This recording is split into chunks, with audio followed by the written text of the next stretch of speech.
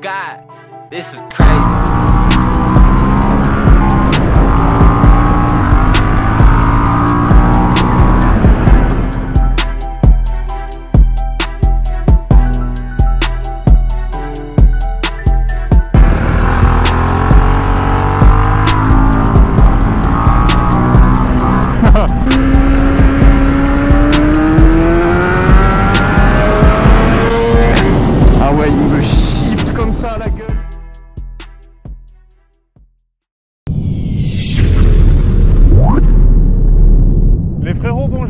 Que vous allez bien.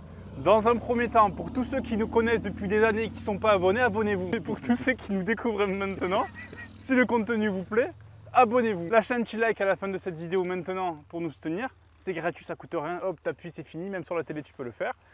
Ensuite, la boutique hbromotors.fr, on a des produits de qualité incroyables. Des suites, des t-shirts, des porte-clés, des sacs à dos, des retours incroyables sur les sacs, les sacoches, plein de trucs. Ça nous soutient, c'est notre revenu principal. 90% des revenus que l'on a, c'est grâce à la boutique qu'on réinvestit à chaque fois, vous le savez. Donc fais un petit tour sur la boutique, je suis sûr qu'il y a quelque chose qui pourra te plaire. Maintenant, nous sommes avec l'ami Arnaud. Vous l'avez vu sur une ancienne vidéo. Si tu n'as pas vu cette vidéo, je t'invite à aller la voir. C'est une vidéo qui dure à peu près une heure. C'est un podcast, on va dire, un interview de monsieur, euh, de monsieur Arnaud ici présent, qui a un parcours euh, vraiment assez atypique, qui fait plein de choses associatifs. Euh, on fait de la prévention, il parle de son histoire, c'est le doyen de la chaîne, on va dire, pour le moment. Est-ce qu'il va être battu un jour Je ne sais pas, sûrement. Et il raconte un peu, un peu de tout. Donc vraiment, pour vraiment savoir qui est ce monsieur, va voir cette vidéo. La dernière fois, on a parlé de ce monsieur-là. Aujourd'hui, on parle de, De la moto de ce de la monsieur. moto de ce monsieur-là. Ben moi je suis pas monsieur tout le monde, j'aime bien rouler sur des motos complètement atypiques. Mais raconte un peu toi, en deux-deux. C'est En qui deux- en Arnaud, association, rail des Pères Noël, machin, slider, motor club. Ouais, ouais, Ah. voilà, tiens, ben t'as tout dit, merci, Voilà. voilà. Allez la moto Voilà, non, euh, ben voilà, Arnaud, 58 balais, euh, ça fait quelques années que je roule. Président des Sliders Massilia Motor Club, vous devez certainement connaître. Chaque année, j'organise euh, la ride des Pères Noël au profit des enfants malades hospitalisés. Cette année, c'est le 22 décembre, je fais de la pub. Venez, c'est une moto, un jouet neuf. Par le biais de cette journée euh, où tout le monde se rencontre, on est 1700, 2000 motos. On amène des jouets neufs dans les enfants, pour les enfants malades hospitalisés qui, sont, qui ont des cancers, qui ont des trucs un peu graves. Et euh, voilà, ça fait plus de 10 ans qu'on le fait maintenant et chaque année, ben, ils attendent ça. Même les Marseillais. hein. Nous, tu sais que chaque année, on attend ça, c'est le rendez-vous un peu. chaque de année, euh, Marseille est en ébullition. Quand, euh, ils, connaissent tous la date grâce aux, aux médias. Au réseau. euh, au réseau Ouais. et aux médias. Euh, je veux dire, euh, tout le monde est dans les rues. Cette année, au Vieux-Port, c'était à bloc. À bloc, à bloc, à bloc. Et sur cette année 2024, comme tu l'as dit en fin de vidéo, euh, euh, on- Ça va être. euh, ça va être quelque chose. de plus Ça va être quelque encore. chose de plus, que chaque année on est de plus en plus nombreux. Cette année, euh, pareil, on essaye euh, d'être en partenariat complet avec la ville de Marseille, avec le maire, tout ça, et les élus. Donc on- ça va être. euh, Vraiment voilà. quelque chose de Ouais, sympa. ouais, ça, ça Et risque d'être on vous sympa cette au année. courant, allez sur la page Facebook, Instagram ou, autre. euh, Facebook, Facebook, voilà, Slider Facebook. Massila Ouais, Motor C'est Club. des vieux encore, Voilà. Facebook. Ouais, Voilà. voilà. Et, euh, Ouais, et sur mais- nous, on est un peu plus jeune, un peu plus dynamique, Instagram. Ouais, pourquoi t'as Snap? J'ai Snap. Ah ben, ben voilà, même moi aussi. voilà. Ouais, tu vois, je suis pas Voilà. gamin con. Hein, J'écoute PNL, mon monsieur. Hein, et Youssef, très bien, très bien. Tu écoutes Youssef?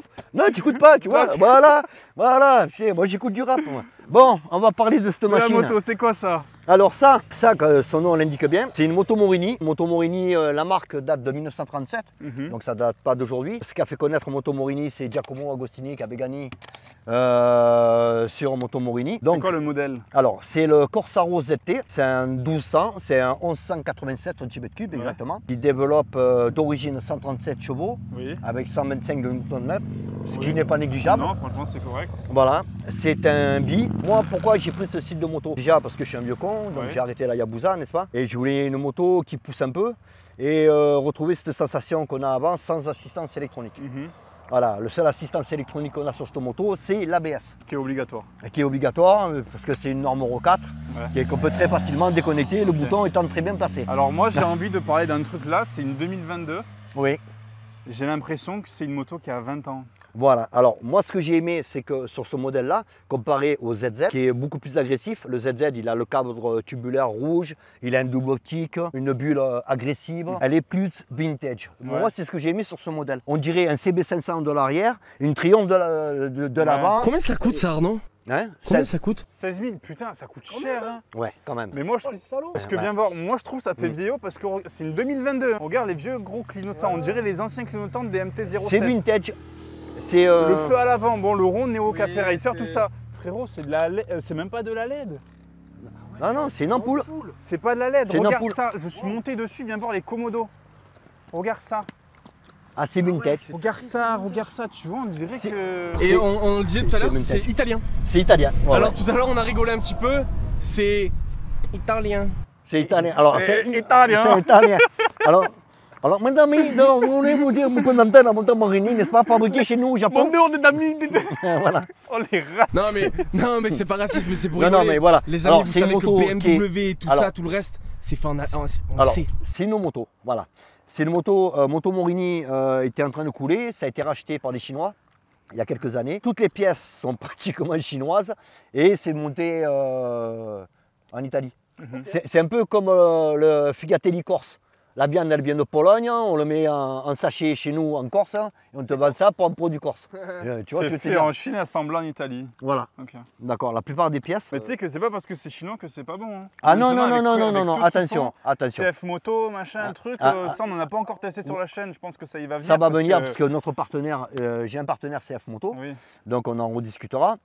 Euh, le problématique vraiment de Moto Morini, ce sont les pièces détachées. Alors je vous déconseille fortement d'acheter, d'acheter le ZT. Le ZT est un dérivé du ZZ. Ils ont voulu un moteur plus coupleux, plus vintage. D'ailleurs, qu'elle n'a pas les doubles phares, le double optique, elle n'a pas le cadre rouge.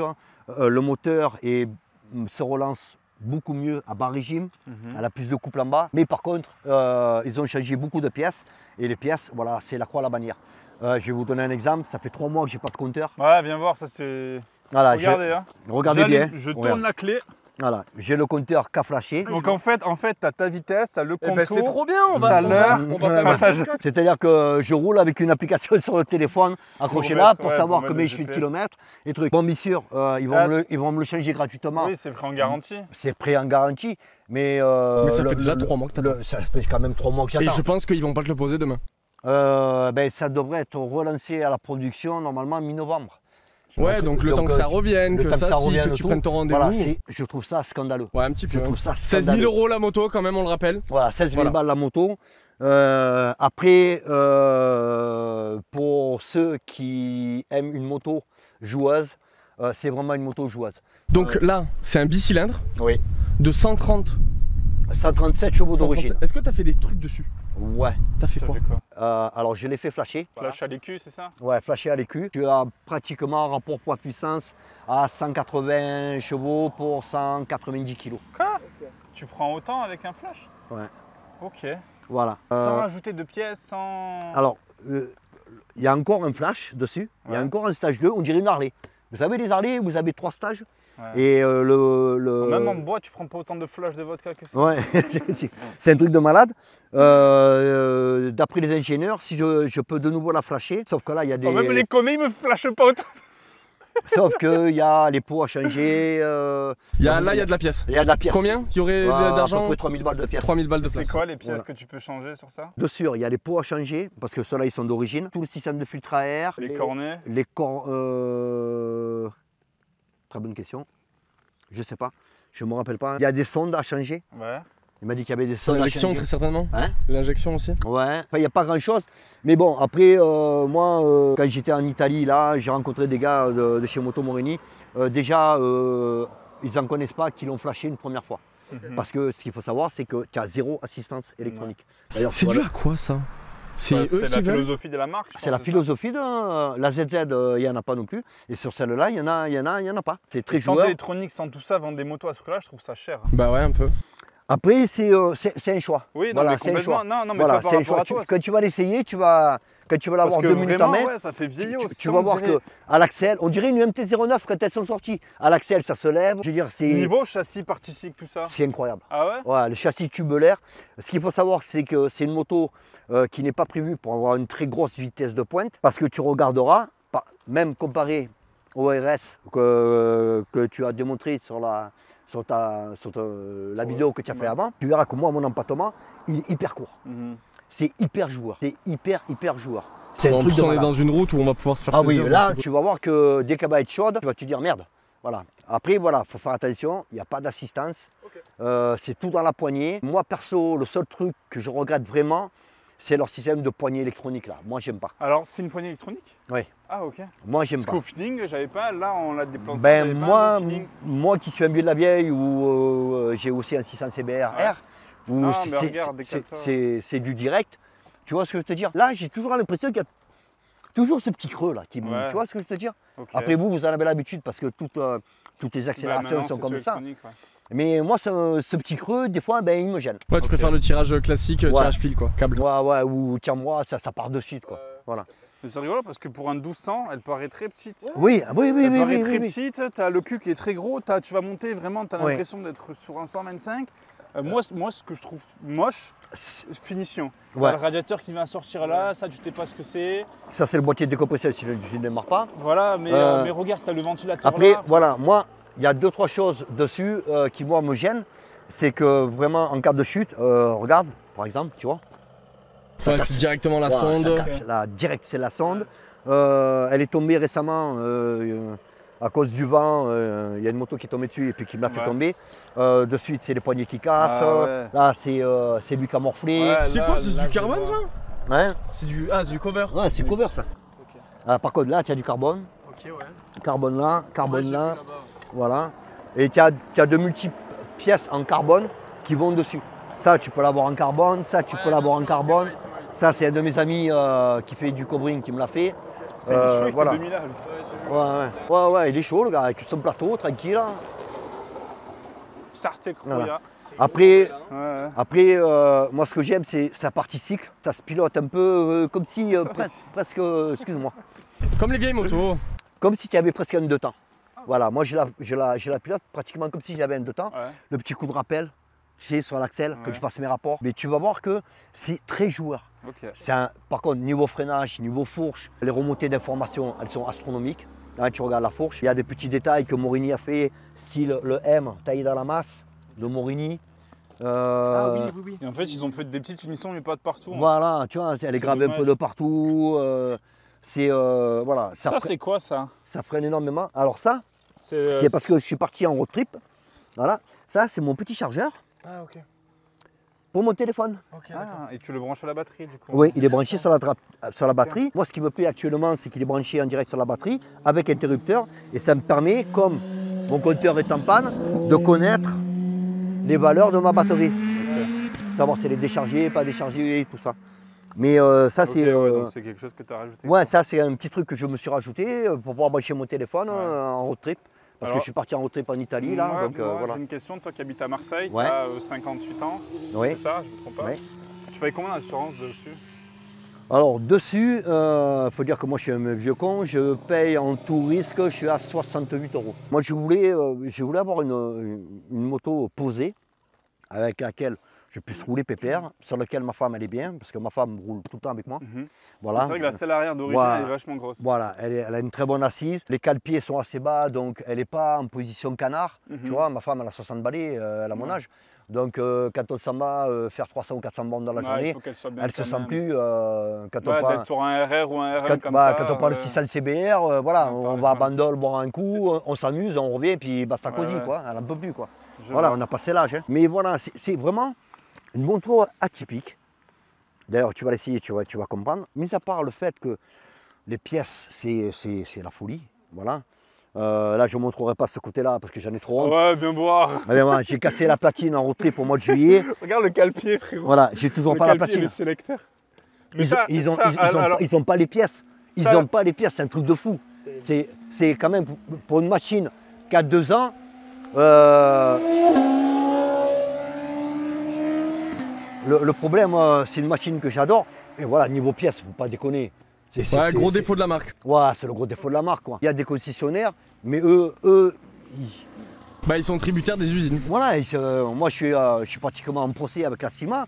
Je- je- je- J'ai eu des emails avec eux et tout, j'ai mis, vous vous rendez compte? Voilà, ça c'est un truc, euh, une platine, c'est pas dispo de suite, hein, ni trois semaines après. C'est chiant. C'est hallucinant. Ouais, c'est usant. Sachant que vis-à-vis de la loi, un constructeur, pendant 10 ans, il doit te fournir les pièces. Oui, normalement, oui. Ouais, voilà, c'est un truc de fou quand même. C'est pas une moto à 3000 euros quoi. Et en Bah, plus de ça, euh, la moto est quand même chère. Ouais, elle est quand- voilà, elle est quand même, elle est quand même chère. Enfin, chère, euh, oui et non. Ouais, 16 000 euros pour un roadster. Hein, pour un roster comme ça, quand tu l'auras dans les mains, tu vas comprendre. Ouais, bah écoute. Bah, moi j'ai Voilà. hâte. T'as quelque chose à rajouter ou pas sur la moto sur, euh, Mais sur la moto, moi je suis très content. Franchement, très très content. Il y a de bien, c'est que quand même, son, la selle, c'est euh, un roster qui est très très haut, mhm. parce qu'on est à plus de 86 mm. Ouais, Donc euh, on est assez haut, ça penche bien. C'est Ok. joueur, tu vas le voir de suite. Puis tu peux t'amuser, les pneus, ils n'ont pas fini d'être rodés, donc tu vas t'amuser avec. C'est du S22, très bon pneu aussi. Mhm. D'ailleurs, en parlant de pneus, je le conseille, surtout les roadsters, euh, t'arraches un peu le goudron. Prenez du S22, moi j'en suis très très content. hein. Ah, nous on le Voilà. dit souvent sur Voilà. pratiquement toutes nos motos. euh, Voilà, ce moi a, c'est hein. du trigome, c'est euh, voilà, la bande de roulement est plus dure que le reste. hein. Et il y a On les est- S23 maintenant. Moi j'attends les comparatifs, ouais, ouais, j'attends euh, parce que j'avais euh, j'avais mis du Super Corsa dessus, euh, voilà. quand tu j'ai- fais de la balade avec ta, avec ta J'ai fait 800 euh, kilomètres avec avec, ta hein. femme, oui, voilà. ah, j'ai fait 800 bornes, après j'avais un plat. Ouais. Voilà, faut le dire, faut le dire ski, hein, donc euh, c'était même pas la peine. quoi. Voilà. Ok. En tout cas, voilà, ben, je vous souhaite euh, un, bon, un- un bon petit essai, amusez-vous Merci. bien avec. Et on fait le débrief à la fin de la vidéo. Voilà, Allez. voilà, vous À faites pas suite. peur les gars. hein. Merci Arnaud de nous faire le prêt de cette moto. J'espère que vous avez kiffé cette petite présentation. Ah ouais, putain, comme il a dit, il faut vraiment faire ça avec, avec, euh, avec la jambe pour passer, les, pour vitesses. Merci à Arnaud de nous faire confiance. C'est une moto qu'on ne connaissait pas. On va chauffer les pilotes, on va chauffer la moto. Mec, je, te jure, j'ai vraiment l'impression d'être sur une moto très ancienne. Alors que c'est une 2022, ah, je te jure. Et les retours, ils sont pas mal. Hein. Ça avance bien. Le bruit est très bizarre, ça a bruit d'un bi, mais c'est pas c'est pas un bi que, que je connaissais, on va dire. Au niveau de la position, comme il a dit, t'as le cul qui est vraiment très haut. Ouais, ça marche. Hein.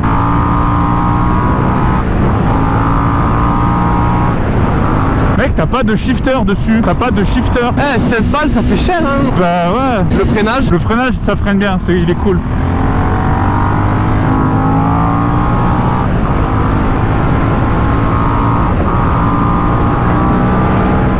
Suis pas très à l'aise avec Ah le ouais, putain, les retours ils sont chelous, mec. Ouais, ouais, les retours, tu les entends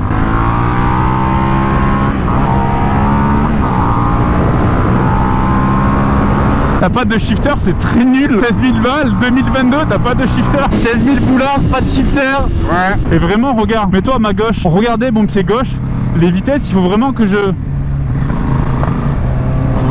Il faut vraiment que Ouais, je fasse tu- ça, tu vois. Ouais, je peux pas faire ça. un coup, quoi. Je peux pas Ouais, faire ouais. ça. Il faut vraiment que j'envoie, comme il a dit. euh, le Oh, les retours qu'elle fait de baiser, ouais, mec. Ouais, ouais, elle fait des retours euh, assez particuliers. hein. C'est un style de moto que. It is, euh, it is euh, special. Ouais, tu verras toi aussi, mais very, very special. Ça me fume le calpier, euh, le calpier Ah ouais, tige. non, mais... Ah, ça me fume, gros. Je suis bien dessus, mais je sais pas, c'est particulier, t'as un feeling qui est bizarre avec. Alors oui, hein, c'est un bi. T'as l'air d'être euh, nerveux en vrai, hein. Ah oui, salé, tu vois. Genre. Vas-y, on fait un petit tirage Ah, ok, d'accord. Vas-y, ça vient. Bah tirage, vas-y frérot. Ah, il est fini là. Voilà, euh, tirage, c'est normal. Hein. Cette moto me fait penser un petit peu à un super mode. Ok, d'accord.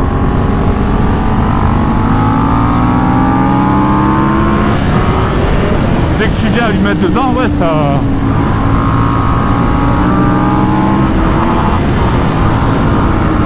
Tu le sens qu'il n'y a pas d'élec, tu le sens qu'il n'y a pas tout ça Non, parce qu'en vrai, je fais rien de fou encore.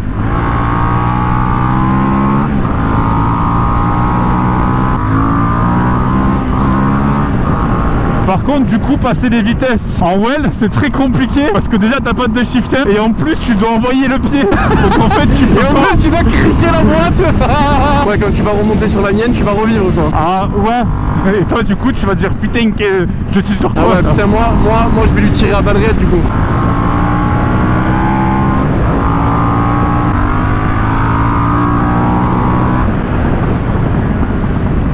Le fait. de- Ouais, ça manque. Je me suis trop habitué au shifter down du coup maintenant avec toutes les motos que l'on essaye. Et c'est vrai que tu perds un petit peu en efficacité au niveau de la conduite. Les retours ils sont trop kiffants gros. Ouais, les retours, des fois, quand je suis proche de toi, j'entends les. Ah ouais, attends, attends, attends. On est dans le 13 ou on est en Afghanistan?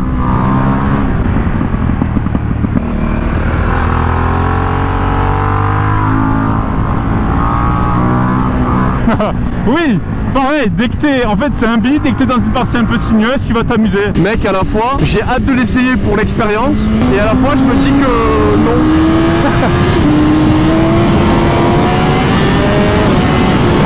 Je sais pas si c'était plein gaz, bon, mais j'arrivais comme le chétan derrière toi. Ah oui, oui, oui, ouais, j'étais euh, j'étais en full là. Oh les retours gros, elle fait que péter la moto. Elle pète plus que toi Je te jure. Toi, tu pètes beaucoup quand même. Mais, mais il dit, il dit que c'est euh, un, un accélérateur électronique. Mais j'ai pas le feeling d'un accélérateur électronique. Mais euh, ouais, c'est particulier. hein. Ouais, ça, mais ça, ça se voit, ça se voit que c'est particulier.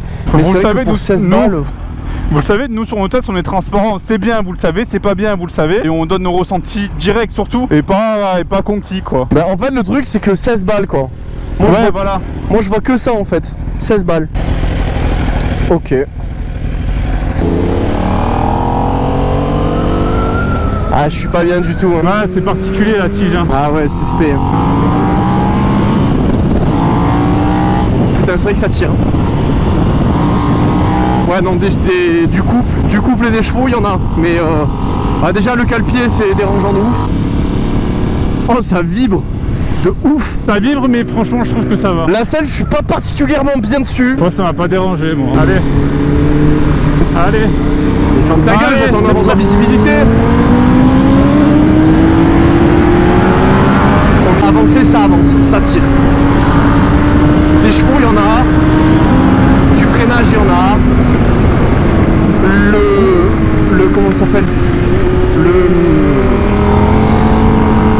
Le shifter, c'est. pas un shifter en fait, c'est ça? Est-ce que je peux shifter sans? Ah ouais, non. Non, même pas, même pas, c'est bloqué. Mec, mais même avec les bottes, ça me fait mal de, de passer la vitesse. ouais. C'est. je sais pas, gros. Je sais pas. C'est vrai que le shifter ça manque un peu, c'est dommage. Non, par contre, je, je, suis pas d'accord avec toi sur le fait de. T'as dit, euh, j'ai l'impression qu'on est sur de la, de la conduite super motard. Je trouve pas du tout.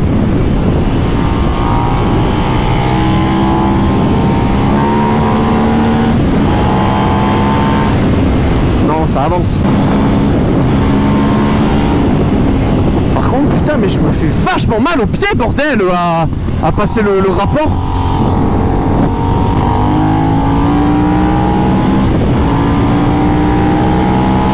Le son, on dirait même pas un son de bicylindre, c'est. Oui, oui, tu vois, c'est ce que je disais tout à l'heure.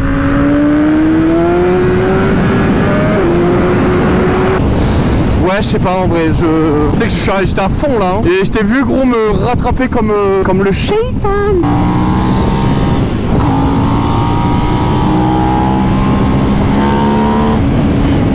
Elle te met des à-coups dans ta gueule par contre c'est. Oh, les retours c'est trop drôle par contre. Ok. Ouais, bah tu vois le passage de vitesse me fait mal au pied. C'est particulier. Hein. Moi, je suis pas conquis, moi. Moi en fait, plus, vraiment, on dirait, on, dirait, on dirait une ancienne moto. Mais surtout, Le freinage, il est oui, bon. ça c'est bien. La partie cycle elle est bonne, le moteur il y est. Oui, Le shifter ça me gêne un peu. oui. Parce que c'est très particulier, c'est très bizarre. L'esthétique, t'aimes, t'aimes pas, mais c'est vrai que tout est assez vieillot. Et le problème de pièces euh, qui est assez terrible. Je... je suis pas conquis. 16 000 euros, je les mets pas dans ça. 16 000 euros, je les mets pas du tout dans ça. Allez, hamdoulillah. Allez, vas-y. Désolé. Oh, j'ai hâte de remonter sur la mienne.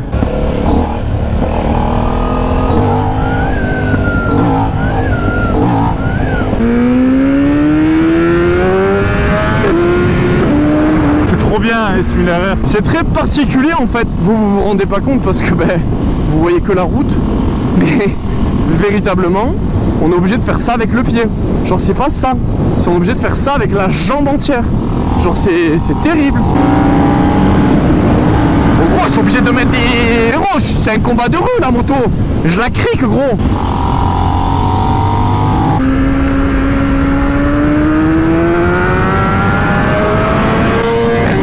Ah ouais, il me shift comme ça à la gueule. Ah, je suis vraiment pas bien dessus. hein. Enfin, je suis bien dessus, mais.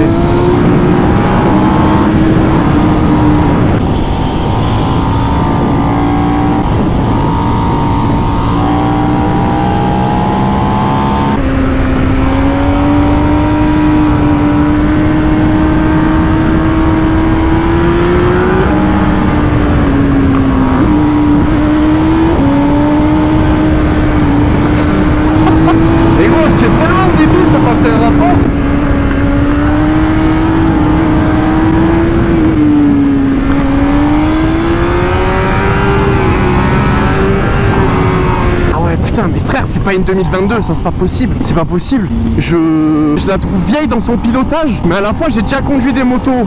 J'ai déjà conduit des motos plus vieilles que je trouvais plus, plus jeunes. Tu vois ce que je veux te dire? C'est spécial de ouf, hein. Hein.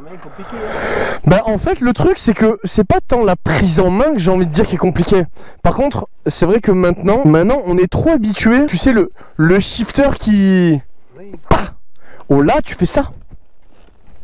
Ouais, bon là c'est parce que le. Ouais. Oui. Voilà, c'est différent. Mais euh, Mais putain j'ai vraiment... En fait t'engages. t'as mal, hein. Ben oui T'en- t'en- T'engages ici et tu sais quoi Malgré le fait qu'on ait les bottes, j'ai mal là. Parce que du coup, où j'ai l'habitude avec des motos qui sont... Où c'est très doux. C'est très doux. Eh. Et là... Ouais là c'est plus dur. Le moteur il y est pour moi. C'est Il y a un euh, qui a le euh, moteur, il 180 tire. chevaux apparemment, donc c'est c'est bien. Mais c'est vrai que la boîte, Est- c'est spécial. ah ouais, c'est spé de ouf. Freinage, il y est. la- Tout, en fait, c'est un ensemble. mais c'est- tout, tout est spécial cette. Mais en vrai, 16 000 balles, Ça fait cher. De fou. Eu- pas conquis. Pas conquis pour 16 000 euros. Je- je- J'en reviens avec toi. C'est pas une moto que je recommanderais à quelqu'un. Ouais. Ouais. Voilà, pour mettre son Ah ouais, c'est. Il faut être dans le mood, dans le truc, il faut. Voilà, faut vraiment être un vieux con comme moi qui, veut pas d'assistance électronique, qui a envie de s'amuser avec un bi, tu vois, avec un bi qui a un peu de coupe, tu vois. Euh, Du coup, il y en a un. euh, Oui. Mais euh, qui est un peu joueur si tu veux t'amuser. Parce que tu as vu que c'est joueur quand même. Ah Oui, oui. Tu as vu que c'est joueur, tu as remarqué, ça. Oui, complètement. Complètement. Mais le fait de pas avoir euh, l'accessibilité qu'on a l'habitude d'avoir avec la boîte de, de, de- de la nouvelle génération, et ben du coup, plus compliqué de s'envoyer en câble en se disant que si tu prends un peu de vitesse, qu'est-ce que tu fais? Tu passes une tu, tu vois, tu passes ta vitesse, du coup tu te stabilises. En plus, bon, c'est c'est vrai que mine de rien, Ouais, la petite tétine métallique ça rassure pas non plus. je. Donc je pense que ça, plus euh, avec le, le, le pilotage aurait été un peu différent. Franchement, je trouve que pour 16 000 balles, il se, il se tripote un peu. Moi, j'ai une question. La poignée, c'est vraiment électronique Oui. J'ai pas le feeling d'une poignée électronique, moi. Je sais pas. si- Voilà, merci, merci. Et Ah ouais as un câble, Non. as un câble, et arrivé en bas, le câble, il m'a dit que c'était une assistance électronique. Bah, moi, j'ai l'impression, c'est euh, c'est Eh ben, pas. Alors, alors, si c'est du câble, franchement, la moto c'est de la merde, hein. excusez-moi l'expression. Hum. Parce que moi qui ai toujours roulé câblé, je veux dire, euh, Ouais, t'as Euh, pas cette réponse d'un le, câble. le 600 CBR, euh, tu vois, quand j'accélère, je. Oui, tu vois, je tu. sens, tu vois. Ouais, tu sens qu'il y a un truc qui s'est. Ouais. T'as pas senti ce truc sur l'axel Bah après, on, la- on la roule pas comme toi. Nous, Oui, euh, oui. c'est un petit test où on la prend en euh, main. Mais il y a toujours des centièmes de seconde où. Ouais. Je sais pas, c'est un feeling qui est pas. C'est spécial. Ouais. Ah, ouais. c'est très particulier. C'est une moto qui est vraiment atypique. Tu l'essayes une fois, tu pourras dire j'ai essayé ça. Ouais. T'en as pensé quoi? Et ben, j'ai essayé ça. Si tu veux l'essayer, essaye-la. Mais ouais, c'est vrai que pour le coup, Pour le Euh, euh, c'est mieux. pas. Ah oui, Oui. je pense. C'est pas une moto que je conseillerais. Ça, c'est sûr et certain. Alors, c'est pas du tout une moto euh, à conseiller. Ouais. Vous encore, vous avez l'expérience de la route. À conseiller à n'importe qui. Euh, tu as vu qu'il n'y a aucune assistance. C'est vraiment un mood. Ouais, voilà. C'est- C'est une moto qui est faite pour un vieux con, vraiment un vieux con Ouais. comme moi, comme je dis tout le temps. hein. Voilà, moi j'ai plein de collègues qui ont essayé, ils me disent putain, mais Arnaud, c'est bizarre. Ouais, c'est particulier, c'est particulier. Mais comme ça, on aura pu l'essayer. Merci d'avoir suivi cette vidéo. J'espère que le test il vous plaira. Venez sur la boutique, abonne-toi, lâche le petit like, ça fait plaisir. Venez sur nos réseaux sociaux Instagram. Merci à vous tous, les amis. Abonnez-vous, bande de dames. Ouais, euh, même lui il est abonné, frère. Allez, les gars, à la semaine prochaine. Ciao. Ciao.